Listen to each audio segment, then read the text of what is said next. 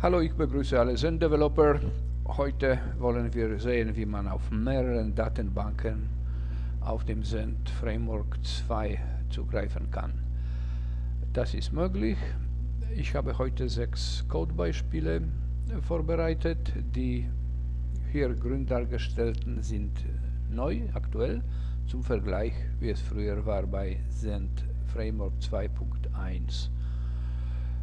Okay, um äh, in einem Controller die Daten von zwei verschiedenen Datenbanken bereit zu haben, braucht man zwei wichtige Konfigurationsdateien anzupassen. Die sind Global PHP, die ist, das ist modulübergreifend, und jedes einzelne Modul, das von den Developers entwickelt wird. Modul PHP, Konfigurationsdatei Modul PHP. Die, äh, die Konfigurationsarbeit, wie, wie, ihr kennt das schon alles aussehen, geht zuerst und dann darf man ein bisschen codieren danach. Wie es früher ausgesehen hat, das war so. Äh, man hat einen, äh, in Global PHP hat man ein Array äh, äh, erstellt gehabt mit einem Key DB, dem Zen Framework war es bekannt, dass DB hat mit der Datenbank was zu tun und dort stand Datenbank, Name, Tipp und alles mögliche. Neu ist, dass man in dem DB Array, Array heute seit der Version 2.2 von dem Zen Framework hat man zusätzlich einen Key Adapters, Plural, und in dem Key sind so viele Arrays, wie, wie viele man Datenbanken man haben definieren will. In meinem Beispiel zwei, die heißen Adapter Courses und Adapter Poll. Die, ich habe aus Ver Vereinfachung hier Username und Passwort eingegeben, das würde zwar gehen, darf man das, soll man das aber nicht machen. Die Username und Passwort, die gehören nicht in Global PHP, die gehören in Local PHP. Hat auch mit dem, das, das habe ich nur so gemacht, weil ich nicht zu viele Code-Beispiele zeigen wollte. Es würde aber, das, wie es ist, würde auch technisch auch so gehen. Wichtig ist, dass die zwei Datenbanken, die ich haben möchte, haben zwei verschiedene Keys, Adapter Courses und Adapter Pole. Die beiden sind in einem Array Plural Adapters gespeichert.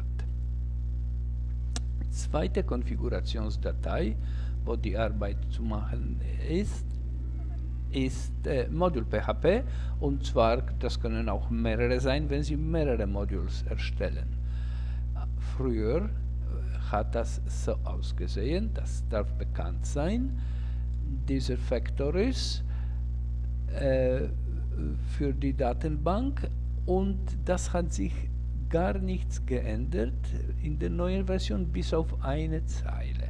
Und zwar auch bis auf die Zeile, die gerade hier unter dem Kommentar steht, in der Zeile, die die Variable dbAdapter erstellt früher, wir schauen uns die äh, 2.1, die alte Version, hat man äh, dem Service Manager ein Identifikat als Identifikator den Pfad zu dem Send-Adapter übergeben. Das würde auch heute auch gehen. Aber wir wollen das nicht so machen, weil wir mehrere Datenbanken haben möchten. Also, das war die einzige Zeile, die in, äh, äh, die unterschiedlich ist, wenn man mehrere Datenbanken erstellen will. In der Zend Framework 2.2 Version schaut die, die Zeile etwas anders an. Hier gibt man denselben Identifikator, in diesem Beispiel Adapter Pol, den wir soeben in dem Global PHP erstellt haben. Und das ist schon alles über die Konfiguration. Natürlich, das ist nur eine Datenbank und ein Modul. Sie können mehrere Module mit mehreren Datenbanken haben. Der Service Manager wird sie finden. Ende der Konfigurationsarbeit, jetzt beginnt der Spaß, die Codierung im Controller. Das ist mein Controller und in diesem Beispiel kann ich schon dem Modell Daten aus zwei verschiedenen Datenbanken übergeben. Und zwei. Ich habe zwei Datenbanken, Polls und Courses. Äh, die erste, die Polls, äh, hat über die Methode getPollTableFetchAll. Wo stehen die beiden Methoden getPollTable bzw. getCoursesTable und FetchAll? Die Methode getPollTable und auch getCoursesTable ist in demselben Controller, wo die Index-Section, das kann auch eine andere Action sein, nicht unbedingt Index, aber in dem Controller selbst, da gibt es eine kleine Funktion, hier, das ist die zweite in diesem Beispiel, getPollTable, die bezieht sich auf den Identifikator, des, de, den Service Manager übergibt man den Identifikator hier rot dargestellt, Poll Model Poll Table. Und das ist der Identifikator, der in unserem Module.php auch steht. Und auch, aus, aus Platzgründen habe ich das äh, hier nicht gemacht, in demselben Poll-Controller kann man auch die zweite Funktion getCoursesTable haben, die, äh, der, die wird fast identisch sein wie getPollTable, nur hier wird der Pfad zu dem Courses äh, stehen. Ähm, der, äh, der, äh, der Pfad zu dem Identifikator, der auch in Mod entsprechenden Modul PHP äh, definiert worden ist. Das sind die zwei. Und die Fetch All, die sind natürlich in Model.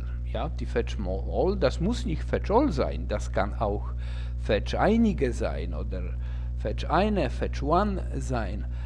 Äh, das ist ein von uns, äh, Fetch All ist die meist gebrauchte und das habe ich genommen, aber ihr könnt in eurem Modell könnt ihr jede mögliche Funktion schreiben und äh, das, die muss nicht funktionieren. Auf jeden Fall die, das zweite Teil, äh, Fetch All, stammt aus dem Modell. Okay, und, die, äh, und äh, so, äh, wie, wie, ihr das seht, bekommt der Modell schon die Daten äh, aus zwei verschiedenen Datenbanken. Und das, damit konnte man schon Schluss eigentlich machen. Jetzt habe ich äh, gezeigt, möchte ich euch nur zeigen, dass es noch etwas mehr geht. Zum Beispiel kann man in demselben Controller, in dem Action Controller Index Action, die Daten ein bisschen verarbeiten. Man kann sich holen einige Daten aus.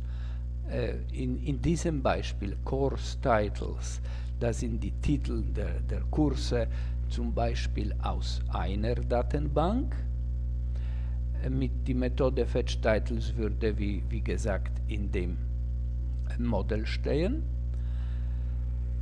Und die, äh, die, das, das kann auch ein rein Array oder ein Objekt sein, diese Course Titles. Die, die holt man sich äh, hier in den Index Action, in, in, in den Action Script und hier übergibt man als Parameter, den Array, einer Funktion, in, die aber zu einem Modell in äh, andere äh, Tabelle einer anderen Datenbank gehört.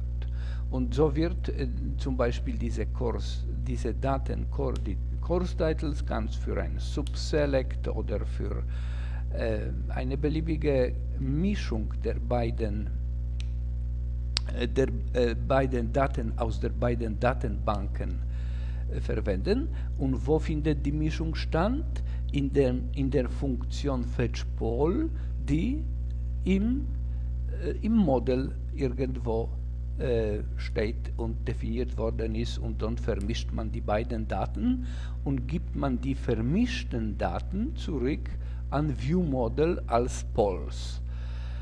Äh, das ist äh, auch möglich, das haben wir auch probiert, funktioniert wunderbar. Gut, das wäre alles. Ich bedanke mich für die Aufmerksamkeit und äh, bei Fragen, bei Interesse schaut ihr bitte auf itkursecaribation.com. Wir sind hier gerne und wir beantworten die Frage gerne. Vielen Dank und äh, bis zum nächsten Video.